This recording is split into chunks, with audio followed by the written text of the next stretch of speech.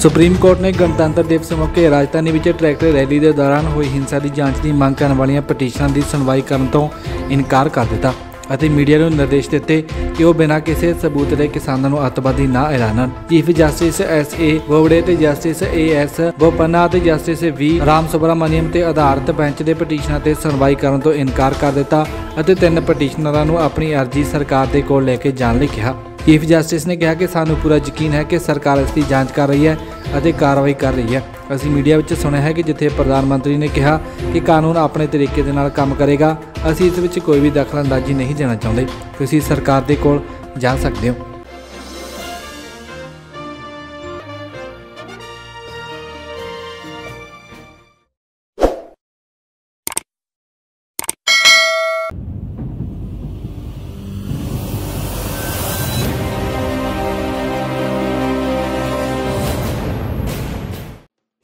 Supreme court ਨੇ ਗਣਤੰਤਰ ਦਿਵਸ ਮੌਕੇ ਰਾਜਧਾਨੀ ਵਿੱਚ ਟਰੈਕਟਰ ਰੈਲੀ ਦੇ ਦੌਰਾਨ ਹੋਈ ਹਿੰਸਾ ਦੀ ਜਾਂਚ ਦੀ ਮੰਗ ਕਰਨ ਵਾਲੀਆਂ ਪਟੀਸ਼ਨਾਂ ਦੀ ਸੁਣਵਾਈ ਕਰਨ ਤੋਂ ਇਨਕਾਰ ਕਰ ਦਿੱਤਾ ਅਤੇ ਮੀਡੀਆ ਨੂੰ ਨਿਰਦੇਸ਼ ਦਿੱਤੇ ਕਿ ਉਹ ਬਿਨਾਂ ਕਿਸੇ ਸਬੂਤ ਦੇ ਕਿਸਾਨਾਂ ਨੂੰ ਅੱਤਵਾਦੀ ਨਾ ਐਲਾਨਣ। Chief justice S A Bobde ਤੇ ਜਸਟਿਸ ਏ ਐਸ ਬੋਪੰਨਾ ਤੇ ਜਸਟਿਸ ਵੀ ਰਾਮ ਸੁਬਰਾਮਨੀਅਮ ਤੇ ਆਧਾਰਿਤ ਬੈਂਚ ਦੇ ਪਟੀਸ਼ਨਾਂ ਤੇ ਸੁਣਵਾਈ ਕਰਨ ਤੋਂ ਇਨਕਾਰ ਕਰ ਦਿੱਤਾ ਅਤੇ ਤਿੰਨ ਪਟੀਸ਼ਨਰਾਂ ਨੂੰ ਆਪਣੀ ਅਰਜ਼ੀ ਸਰਕਾਰ ਦੇ ਕੋਲ ਲੈ ਕੇ ਜਾਣ ਲਈ ਕਿਹਾ। ਚੀਫ ਜਸਟਿਸ ਨੇ ਕਿਹਾ ਕਿ ਸਾਨੂੰ ਪੂਰਾ ਯਕੀਨ ਹੈ ਕਿ ਸਰਕਾਰ ਇਸ ਦੀ ਜਾਂਚ ਕਰ ਰਹੀ ਹੈ ਅਤੇ ਕਾਰਵਾਈ ਕਰ ਰਹੀ ਹੈ। ਅਸੀਂ ਮੀਡੀਆ ਵਿੱਚ ਸੁਣਿਆ ਹੈ ਕਿ ਜਿੱਥੇ ਪ੍ਰਧਾਨ ਮੰਤਰੀ ਨੇ ਕਿਹਾ ਕਿ ਕਾਨੂੰਨ ਆਪਣੇ ਤਰੀਕੇ ਦੇ ਨਾਲ ਕੰਮ ਕਰੇਗਾ, ਅਸੀਂ ਇਸ ਵਿੱਚ ਕੋਈ ਵੀ ਦਖਲਅੰਦਾਜ਼ੀ ਨਹੀਂ ਦੇਣਾ ਚਾਹੁੰਦੇ। ਤੁਸੀਂ ਸਰਕਾਰ ਦੇ ਕੋਲ ਜਾ ਸਕਦੇ ਹੋ।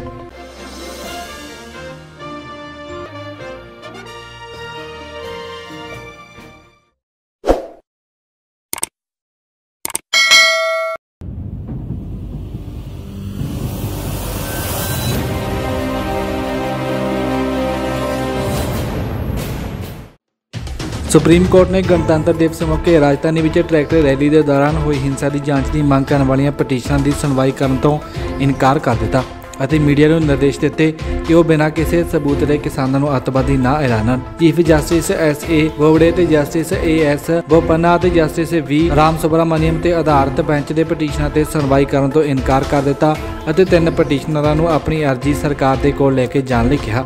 ਚੀਫ ਜਸਟਿਸ ਨੇ ਕਿਹਾ ਕਿ ਸਾਨੂੰ ਪੂਰਾ ਯਕੀਨ ਹੈ ਕਿ ਸਰਕਾਰ ਇਸ ਦੀ ਜਾਂਚ ਕਰ ਰਹੀ ਹੈ ਅਤੇ ਕਾਰਵਾਈ ਕਰ ਰਹੀ ਹੈ।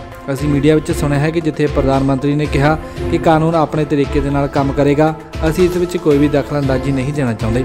ਤੁਸੀਂ ਸਰਕਾਰ ਦੇ ਕੋਲ ਜਾ ਸਕਦੇ ਹੋ।